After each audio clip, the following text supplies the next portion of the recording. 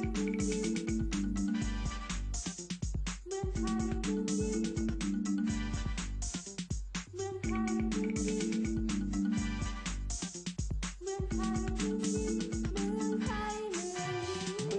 ่ะ หลังจากที่เราไปเดินชมอะไรตัวอะไรมาเยอะแยะนะคะ ครับ ตอนนี้ช่วงเวลาเนี้ยพาคุณแบงค์กับน้องเทมมาดู ที่นี่เป็นบริเวณของร็อบบี้โรงแรม Rose Garden ครับผม Riverside นะคะ ตรงนี้จะเป็นสถานที่ที่ไว้สำหรับรองรับนักท่องเที่ยวที่มาเป็นครอบครัวแล้วก็พักผ่อนค้างคืนกับเราที่นี่นะคะ ครับผมเป็นโรงแรมระดับ 5 ดาวที่มีบริการห้องพัก ทั้งเป็นที่ในโรงแรมและเป็นเรือนไทยนะคะ อ๋อเป็นเรือนไทยด้วย ส่วนให้น้องแบงค์ชมตรงนี้นิดหนึ่งน้องแบงค์ครับ นี่คือรางวัล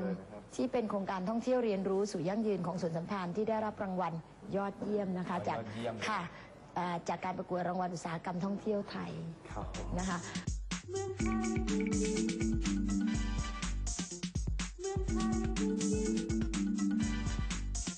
พี่แบงค์ครับครับ วันนี้นะครับหลังจากที่เราไปเที่ยวแล้วเนี่ยเรายังได้ที่พักแล้วก็หรูหราเป็นอย่างมากเลยด้วยนะครับโอ้ครับโถงเลยครับพี่ครับ ท้ายนี้นะครับก็อยากให้พี่วัฒนานะครับ ฝากเอ่อกับท่านผู้ชมนะครับและนักท่องเที่ยวที่จะมาเที่ยวหรือมาสัมผัสชีวิตแบบนี้ครับ ค่ะครับก็ถ้าทุกท่านมีเวลาและมีโอกาสนะคะ เพียงวันเดียวท่านก็สามารถเที่ยวที่สวนสำราญได้ แต่ถ้ามีเวลามากกว่านั้น ครับ สามารถพาครอบครัวมาพักผ่อนค้างคืนทำกิจกรรมนะคะอ่าทั้งครอบครัว ถ้ามีโอกาสก็เรียนเชิญ